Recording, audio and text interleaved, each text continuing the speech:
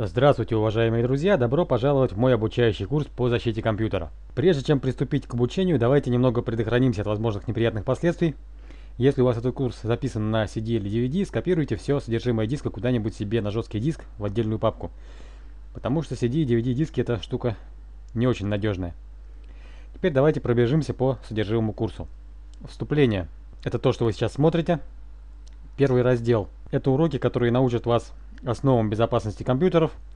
Это основные правила, которые необходимо соблюдать для того, чтобы значительно уменьшить вероятность проникновения вредоносных программ на ваш компьютер. Изучив эти уроки и выполнив их на практике, вы сделаете ваш компьютер гораздо более защищенным, чем у тех людей, которые просто поставили себе антивирус, чтобы спать спокойно.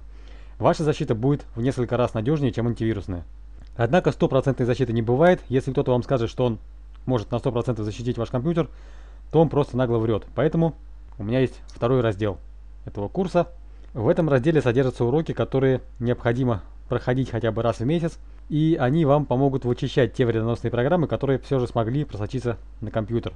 На самом деле раз в месяц это ориентировочная цифра, кому-то понадобится делать это чаще, кому-то реже. Вы постепенно сами поймете, насколько это нужно лично вам. В этом разделе достаточно много уроков, он стоит, состоит из двух страниц, но возможно, что далеко не все уроки лично вам понадобятся, вы, посмотрев каждый из них, поймете, что из них нужно именно вам. Уроки даны с избытком для самых-самых разных случаев. И они начинаются от самого простого, в расчете на тех людей, у которых знаний в компьютере вообще близки к нулю, и дальше постепенно все усложняется, усложняется, и идет решение более сложных задач. Однако я обращаю ваше внимание на то, что подготовительные уроки из этого раздела все-таки желательно пройти всем. Иначе все остальное будет работать не так, как надо, потому что все это части единой системы. То есть недостаточно просто взять программу из 15 урока, которая вам понравилась, и пройти ею проверку. Такие действия будут мало отличаться от антивирусов. И, соответственно, эффекта от этих действий будет не очень много. Сначала нужно подготовить компьютер, как показано в первых уроках этого раздела, а потом уже делать все остальное. Ну и заключительные уроки тоже нужны, чтобы после всех этих процедур вернуть компьютер в нормальное состояние. Я повторю, что необходимо прорабатывать этот раздел обязательно, даже если видимого заражения у вас сейчас нету. В этом есть его смысл. Не ждать, пока жареный петух клюнет за одно место, а сделать все заранее и продол продолжать регулярно это делать.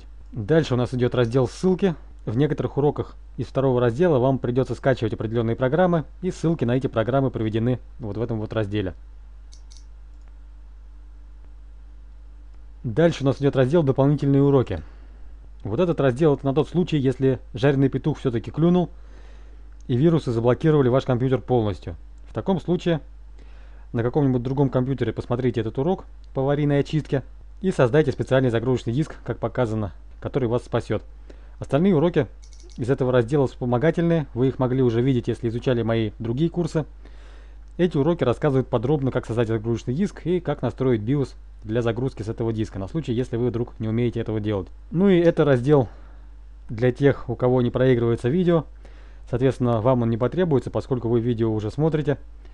Здесь просто ссылка на универсальный видеоплеер, который умеет проигрывать любые видеофайлы.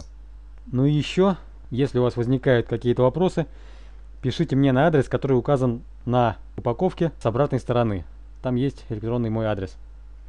Ну а я еще раз благодарю вас за покупку этого курса и увидимся с вами в видеоуроках.